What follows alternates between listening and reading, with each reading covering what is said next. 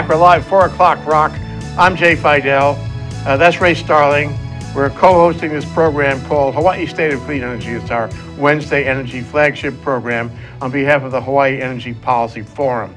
And today we're entitling our episode, What Does the Consumer Advocate Do? And we're calling this The Core of Consumer Advocacy in Hawaii, featuring Dean Nishina, Executive Director of the Division of Consumer Advocacy of the State of Hawaii. Welcome, Dean.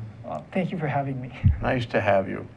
You know, you know, uh, if we, we didn't notice it right away, uh, soon enough, Ray and I especially, have, having observed all the players on the ball field, we noticed that things change. They do change.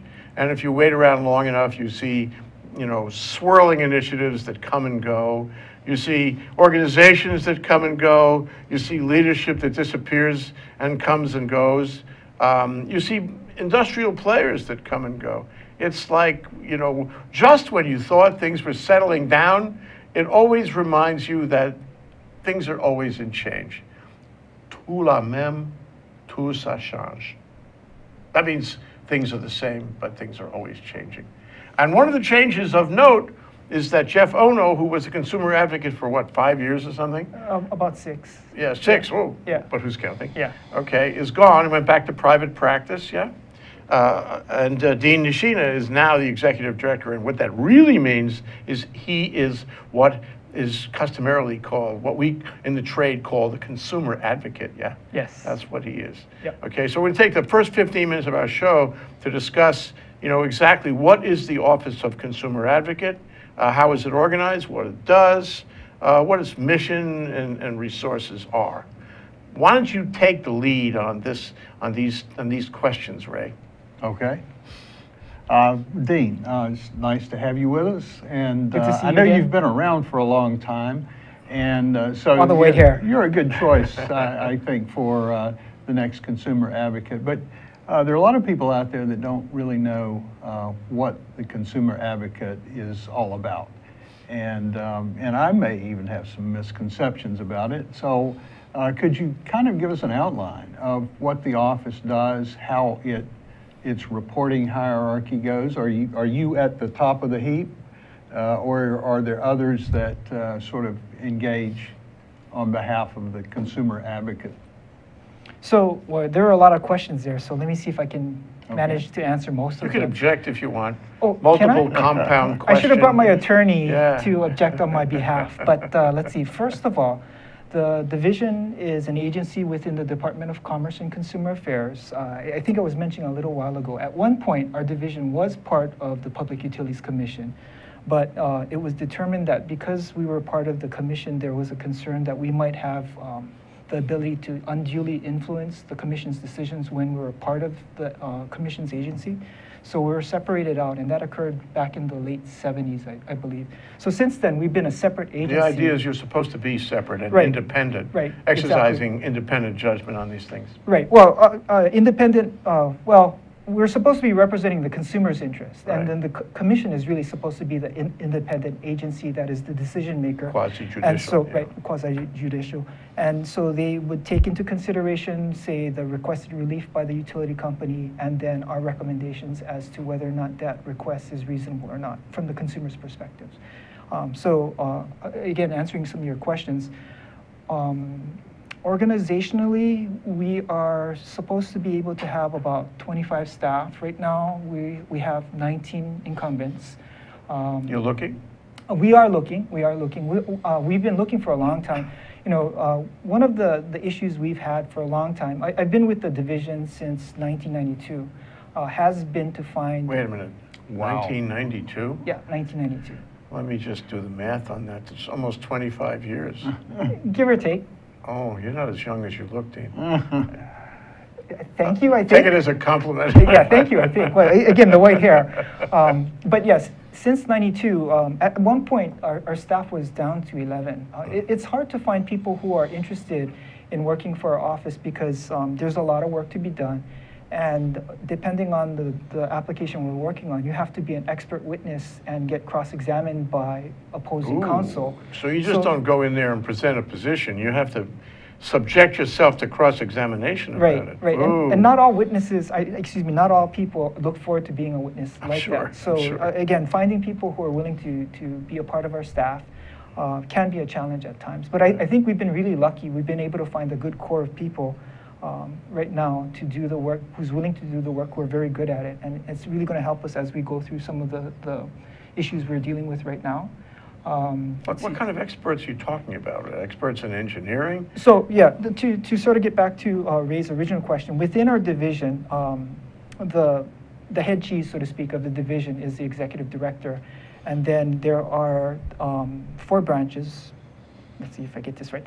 There's the, the legal branch where we have um, three attorney positions as well as our office services staff. We have our research analysis branch, we have our rates analysis branch, and we have our engineering branch. And um, one of the things that we've found made it easier for us to find employees is we've converted uh, our, our research analysis branches, our exempt positions, which gives us a little more flexibility in terms of finding people to who, who might be interested in That means not civil service. right, not civil They, service. they can come and go, or they do come and go because they don't have a lock-in career. right, Yeah. Yeah, okay. So we have engineers, they, are we they, have are the research guys all lawyers or what? No, actually, um, the people we have, there's one person who has a law degree that- in our research analysis uh, branch, but then the chief of our research analysis branch has a PhD in economics. Uh, we also have an, uh, another person who was uh, an engineering background. There is an attorney within the research analysis branch. There's a person who has um, she, she actually worked for Department of Health for a while, so you know her interest. We have a, a wide range of experience and, and knowledge in that branch, which is we, we find is very helpful. Mhm, mhm, yeah. Wait, I just, uh, I wonder, um, you know, at the end of the day, um, are you called on to take positions on everything the PUC is considering? Uh, I would expect that they would like to hear from you on bloody everything, no? By statute, we are parties to every proceeding before the Public Utilities Commission.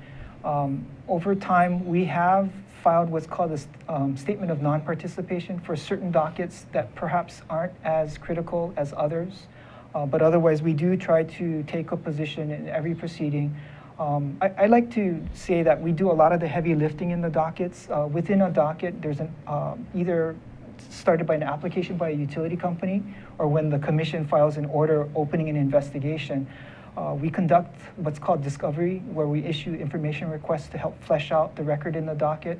Uh, most of the times, uh, we're doing the heavy lifting in terms of trying to flesh out the record and Nobody else is doing that, yeah? Well, um, for the most part, The PUC itself issue subpoenas and, and gather information that way, or do they rely on you to do that? For the most part, I, I think they rely on our information requests, but I will say that the, like you were mentioning, change. The, the commission recently, um, within the last few years, has been issuing more information requests, whereas in the past, information requests from the commission was very, very rare. When you say the last few years, you mean the last year with Randy Iwase? Uh, no, not, not He's just kind of an Randy. activist, isn't he? I mean, he's, He, right. he is pretty active. You heard it here on Think Tech, huh? He is pretty active, but um, even with um, the, the staff under um, Chair Morita, as well as um, Chair Caliboso to some degree, there, there were um, some IRs coming out. It's just the number has increased within, say, the last couple of years. Interesting. So Do- there's a dynamic here. Do you ever have uh, sort of a conflict within your own group as to who, which consumer are you representing? And some have, would like for you to go this way, and some might want you to go that way. How do you resolve that internally? That, that is a really great question, Ray, because, you know, we are the consumer advocate. And as you're, as you're noting, there are different consumer groups. And I, I hate to pick on this issue, but, you know, one potential issue uh, we could talk about is the net energy metering issue, where there are certain customers who want, you know, wanted NEM to continue. And then the, the, we were pointing out that there's uh, potential cost subsidization occurring by the non-participants. And so we were making certain recommendations trying to balance the interests of all consumers. And, and even in our traditional rate, um, rate cases, that, that's like uh our bread and butter type of thing when a utility company comes in and say, we want to have a 10% rate increase. Even within there, we have to balance consumer interest because let's say the company justifies a 10% increase. of that increase, how much should be allocated to, say, residential customers versus commercial customers versus industrial customers. So there's always a lot of balance. And what we try to do is provide analysis on all of the interests of the consumers, and then we basically leave it up to the commission to kind of decide what they believe is reasonable as a decision maker. Um, we, we, we do try to, where we can, um, perhaps ensure that the smaller residential customers have some benefit, uh, uh, benefit of, of our representation because some of the larger players, such as you know the Department of Mm-hmm. They hire- Defense, they hire their own, They right? hire their own consult. Exactly. So they have Advocates. representation. yeah, exactly. So from that perspective, it's the smaller customers that usually don't have the resources for that. And and so we I, we would I wouldn't say we necessarily bias our positions for the residential customers, but they're certainly in our mind as we make our recommendations. Do you ever go into that uh, mm, kind of background when you file some kind of filing with the PUC or whether you, when you appear or testify to say, well, you know, we have m- multiple positions among our constituents, among our, the people we represent. We have a group who wants to do this, we have a group who wants to do that. Um, and, but we have evaluated all of that and we kind of lean over here. And these are the reasons we lean over here. We want you to know, PUC, that it's not monolithic out there, that there are various viewpoints. Do you tell them that? There, there have been some applications within which our analysis did have that type of presentation. Yeah, yeah. That's an interesting spot to be in. It, it, it is very challenging. Some people are going to get mad at you when you Well, don't buy not- their Not position. some, you know? for the most part, uh, you can never make everybody happy, right? So, Okay, well, I, I, I can make uh, Ray and you happy for a moment. For one minute, I have the power to do that. Watch this. Hello and aloha. My name is Raya Salter, and I am the host of Power Up Hawaii, where Hawaii comes together to figure out how we're going to work towards a clean and renewable energy future. We have exciting conversations with all kinds of stakeholders, everyone who needs to come together to talk about renewable energy, be they engineers, advocates, lawyers, utility executives, musicians, or artists, to see how we can come together to make a renewable future. Tuesdays at 1 p.m. Aloha. My name is Reg Baker, and I'm the host of Business in Hawaii with Reg Baker. We broadcast live every Thursday at 2 o'clock. We highlight businesses and individuals that are successful in Hawaii, and we learn their secrets to their success. I hope you can join us and listen in because we always have a pack of information on successful stories in Hawaii. Aloha.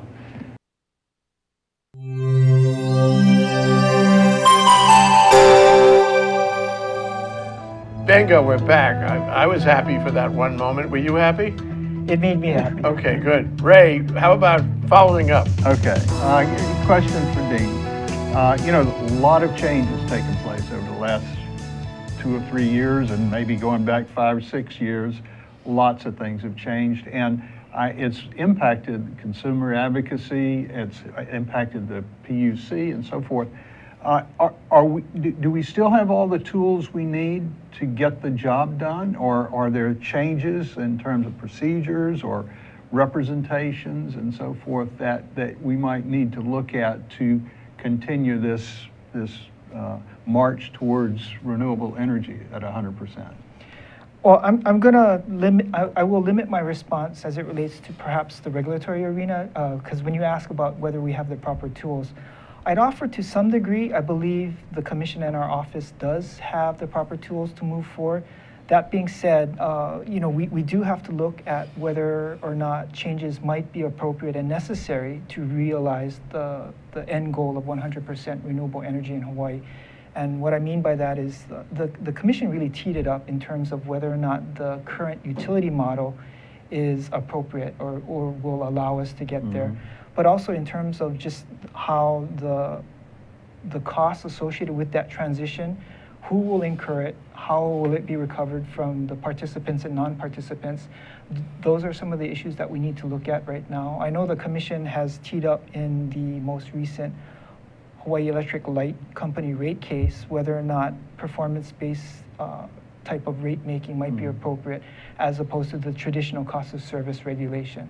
So when you ask uh, whether or not we have the right tools, I, I would offer, I think we do, but it will require us to step back a little bit and see how we might expand the box a little. Mm, mhm. You know, the big tension, and as far as I've been following it from 2008 on forward, is um, clean versus cheap. And, uh, you know, Mina Morita said early on in her role as chair of the PUC that she was trying to protect the consumer from paying a penny too much. On the other hand, on the other hand, in my view, you can, I'd like you to agree or disagree. Um, we haven't moved fast enough. We're never going to get there at this rate. We are distracted with so many things. We are a, veritable picture of distraction.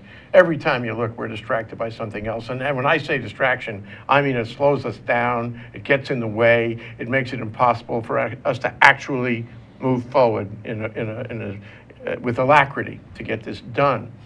Um, and so, you know, what you have is, is the, the, the notion of cheap gets in the way of the notion of clean. My own view is I don't care about cheap. I want to get the job done. At the end of the day, we're going to be sorry if we don't get the job done for so many reasons. I'd like to know your philosophy about that. I'd like to know how your office treats that issue because I don't think every single uh, consumer advocate feels the same way about that issue. Right. So, you know, the one thing I would point out is generally the most common complaint or comment that we receive from customers is that our utility bill is too high. It's not that we don't have enough green energy, it's our utility bill is too high. So one of the things we're trying to do is balance in terms of the proper path moving forward. We could certainly achieve 100% renewable energy much earlier. I, I, I, always joke about it in our office. You know, if, if we don't care what the price is, we could just find the sufficient source of biofuel and just burn it in, in the, the, the units we have right now, and we'd be there. But our utility bills would increase five, six times just because of the difference between the fuels that they're burning now versus um, biofuel. Uh, is that the right path? I don't think so because if customers can't afford to pay the bill, then we're going to have a different issue and we will have uh, the customer revolt in terms of whether or not you know, they're, they're satisfied with utility service. So I think one of the things we're trying to do in our office is to do a deeper dive into some of the potential alternatives to evaluate the costs and see. I, I know um, Mina always, I shouldn't say always, but she often made the comment of trying to make no regrets decision. And I don't think I can ever make a no regrets decision. I, just by, my, by virtue of my nature, I will always have regrets about any decision I make. But I think we can make least regrets decisions in terms of if we do the proper analysis and mm-hmm. evaluate the support for it as we move forward, we've minimized the regrets we might have on a going forward basis. I certainly agree that the pace could have been faster, but by the same token, I don't want us to be rushing into something where at the end of the day, customers are saying, I can't afford to pay my utility bill anymore because it's just too high. Do you remember the famous remark made by Joshua? He was counsel for um, the PUC. What was his name? Strickler? Strickler. He came to uh, one of our programs at the Plaza Club, and he had this whole allegory about a salad. I don't know if anybody was there, but it was it was stuck in your brain forever. And he said, "We can't have a salad that has a worm in it because the worm will ultimately, you know, scare away the, the diner, the person in the restaurant. So we, we must exclude all the worms. And, uh, and a worm is a, a, an issue that mm, hasn't been resolved, uh, that undermines, you know, whatever position you want to take. Uh, and a worm is something to be afraid of. The worm is something to make a very conservative decision. And his point in all of that was we have to be very conservative all the time. When in doubt, don't do anything. Uh, when in doubt, hold back. Um, because if you have one mistake, you're going to get busted for it and all that stuff. Um, I personally don't believe in that. I, I, I, think we have to move forward and take a certain risk about it because this is new territory. Mm-hmm. This is new technology. Right. This is a transformation of our economy. It can't be perfect. By, def, by logical, you know, it can't. How do you feel about that? I, I, think we might be in the same boat, or at least we might be eating the same salad. um, I, I, don't think waiting for the perfect salad is the answer because, as, as you've indicated, if we were waiting for that perfect salad, we may never get to eat. Um, right. And I kind of like to eat. So, again, my idea is if we can do the proper analysis so we minimize the risk moving forward, I, I think we'll all get to eat and hopefully we'll enjoy the salad. Uh, hopefully, we, we won't have too many worms or they won't be worms that'll be too off-putting? Well, you know, big question here is the consumer advocate, in, in my view, can statutorily, you know, take affirmative action to move things ahead. I mean, theoretically, you correct me if I'm wrong, but you could get up in front of the PUC and say, ladies, gentlemen, we have to, we have to do this, we have to move ahead, and the consumer advocate advises you that in our view, you should do this, this, this, and this, and get it done. Um, so the consumer advocate can be an activist also. Um, so what, where's your head about that? Where are, where's your head on these specific issues that either could or maybe don't get it done? Net energy metering, where are you on that? Where are you on time, what do you call it, time, of, of use? use. Where are you on, what do you call it, self-supply? These issues, uh, uh, they're not yet controversial, but I predict they will be. so where do you fit on that? I, I think they're already in that controversial bucket, but Yeah, um, really. I, I, I, think in the past, we, we haven't been as proactive as I think we'd like to be. When I say we, our agency, Mm-hmm. um, primarily because of resources. But I, I think now that we're fully staffed, and again, I, I think we've also been fortunate not only to have some um, good staff people join our agency, but we've also developed good relationships with consultants who can help us. Hopefully, we can be more proactive. I think one of the really important things that we need to do to move forward with our clean energy transition is trying to establish better pricing signals. Um, NEM is a great example of where it was set up to incent or encourage initial adopters. And so the, the pricing for that was to pro- get over that hump of where a person might be looking at it and thinking, oh, that's too expensive for me. Um, NEM was supposed to help overcome that hump. It was never meant to be the final solution to uh, have in place for distributed generation. If, if your payback for a system that can last 15 years, give or take 15 to 20 years, is four to five years, your, your compensation level is too high. Um, and, and that's why our position in, in NEM was we, we need to step back and look at the, the cost shifting that's occurring between participants and non-participants. Uh, right now, before the commission, a lot of the, the focus has been on the technical connection issues. And our office has been saying, yes, let's not forget the technical connection issues, but also let's start to ramp up our analysis of the underlying cost aspects of those interconnection issues and what the value of the services that might come from DG and whatnot. Because right now, if we continue to look at those old prices, it's inefficient pricing signals and people are making poor decisions based on outdated or stale information. Um, there hasn't been enough interest because it's difficult. Um, and certainly not enough effort in, the, in that area. And that's one of the things we've been telling the commission, commission we really need to start to bring up that aspect of, of analysis within the transition to 100% renewable energy. You're probably impressed. I am. Uh, Well, I'm, I'm actually very happy to see that you've got uh, a, almost a full staff now, because I think that's a critical factor, especially with so many different things going on. Right. Uh, and one question I had uh, before we close uh, have you looked outside of Hawaii for other consumer advocate groups in other states that are uh, doing things that, that we might learn uh, from? Uh, that, because I, I found that we can become a little bit insular here, and it's good to get out and even go to the mainland to some conferences where a lot of people come together.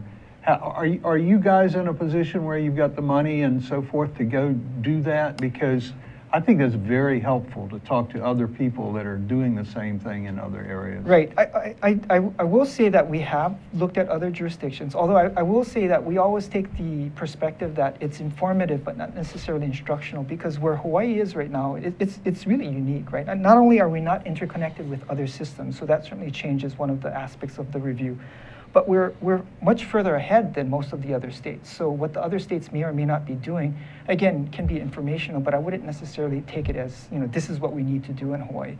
Uh, when we use some of our consultants, the consultants are generally from the mainland, and that's where we rely on their experience within dealing in other jurisdictions and bringing it to Hawaii. And we try to vet it internally with our consultants as is this something that might be appropriate for Hawaii? Um, we have had consultants sometimes, they come and they propose something, and it's basically what they did in, uh, not to pick on a state, but say Minnesota or, or, or maybe Colorado and they say this is what you need to do in Hawaii. But really, again, you need to step back many, and, and look at the differences and determine whether or not that is something that can, it, it might not even be feasible, really. So, I, I mean, that's usually one of the more interesting discussions we have our, with our consultants. Mm-hmm. Because there are consultants, and we'd like to think they're going to advance what we think is the best thing for Hawaii consumers. Isn't it a matter of building credibility with the commission and the public for that matter? Right. Uh, You have to satisfy mm, all constituencies, at least to some extent, and you have to walk into the Public Utilities Commission and they have to accept, a fair chance that they will accept what you are offering and recommending. This is really important. I, I'd like to think they always accept what we say, but you know they I'd don't. like they think don't that too, always. but- you know that's why we try to make sure we do the best job possible in terms of Yeah. supporting whatever recommendation we might offer. Yeah. We are impressed, Dean. Mm-hmm. We are happy that you are here. We are happy you are the consumer advocate now.